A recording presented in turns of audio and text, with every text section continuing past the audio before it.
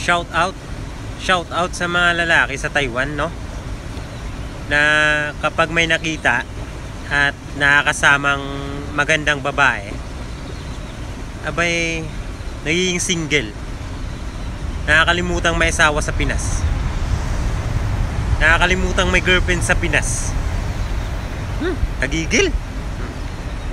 nakaka hmm. kaya yung mga babae pag kayo magbo-boyfriend mag-boyfriend kayo ng maitim tulad ko Friend kayo ng maitim tulad ko. Hindi, joke lang. Pag kayo magbo-boyfriend, ha, sigurado yun yung ano,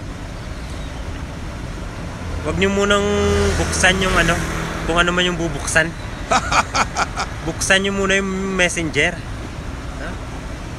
Ha? Sigurado yun yung mabubuksan yung messenger. Huwag lang basta line. Wala masyadong nagla-line sa Pinas. No? Doon tayo sa ano, sa hindi babaero, no? Huwag tayo dun sa mga babaero. Wala, walang mangyayari.